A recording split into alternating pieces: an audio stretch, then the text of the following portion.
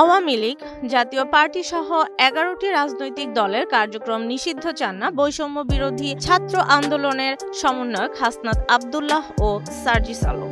এছাড়া আওয়ামী লীগের আমলে অনুষ্ঠিত তিন নির্বাচনও বাতিল চান না তারা। মঙ্গলবার তাই হাইকোর্টের রিট প্রত্যাহার করে নিয়েছেন তারা। দলগুলো হলো Awami League, Jatiya party, Jasad, Tariqat federation, Ganatantri party, communist party of Bangladesh Bikalpa Dhara liberal Democratic party, Bangladesh সাম্যবাদী দল, বাংলাদেশ জাতীয় সমাজতান্ত্রিক দল। মাঠের অলরাউন্ডার আমি আর ঘরের allrounder Tilex.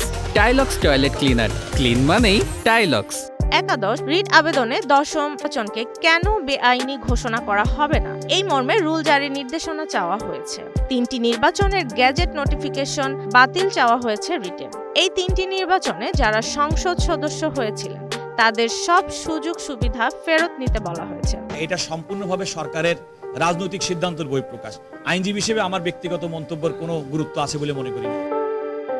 ভবিষ্যতে এই এগারো দল যেন নির্বাচনে অংশ নিতে না পারে তার নির্দেশনা চাওয়া হয়েছে। যারা এমপি হয়েছিলেন, তাদের বিরুদ্ধে কেন রাষ্ট্রদ্রোহী মামলা দায়ের করার নির্দেশনা দেয়া হবে না, তা জানতে চাওয়া হয়েছে। কানিজ ফাতিমা, একুশে টেলিভিশন, ঢাকা।